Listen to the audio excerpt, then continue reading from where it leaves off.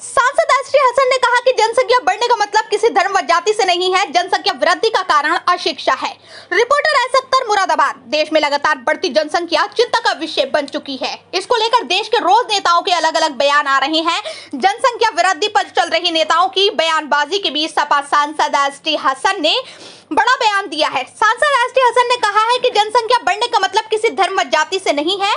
जनसंख्या वृद्धि का कारण अशिक्षा है। उन्होंने कहा कि हिंदू, मुस्लिम धर्म में ज़्यादा बच्चे वही लोग पैदा करते हैं जो कम पढ़े लिखे होते हैं। एस टी हसन ने कहा है कि बढ़ती जनसंख्या का संबंध लोगों का कम पढ़ा लिखा होना या अनपढ़ होना, हम सभी लोग इस बात को जानते हैं कि कम पढ़े लिखे लोग की वजह से जनसंख्या बढ़ी है।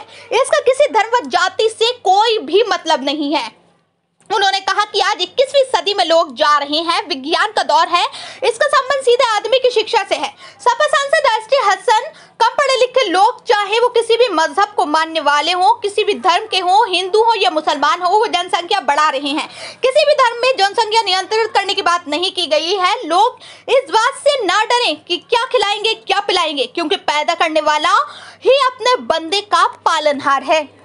जनसंख्या राष्ट्र नियंत्रण डे का कार्यक्रम था। योगी जी ने भी उसमें कुछ अपना वक्तव्य रखा और कुछ स्टेटमेंट दिया। क्या कहना चाहेंगे?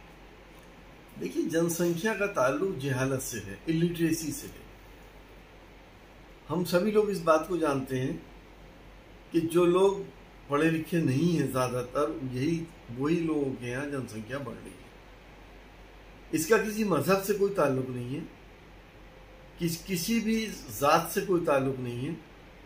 आज 21वीं सदी में लोग जा रहे हैं साइंटिफिक दौर है।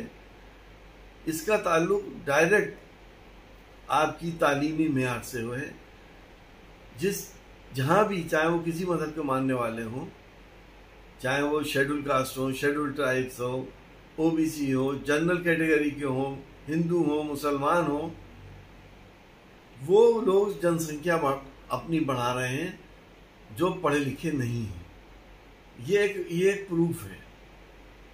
वैसे भी हम सभी लोगों का हिंदू हो, मुसलमान हो, वो ये जानते हैं। कि इंसान को पैदा करने वाला एक है उसका पालनहार एक है। लेकिन किसी भी मज़हब में जनसंख्या कंट्रोल कर, करने की मुमानियत नहीं है बैन नहीं है। इस्लाम में भी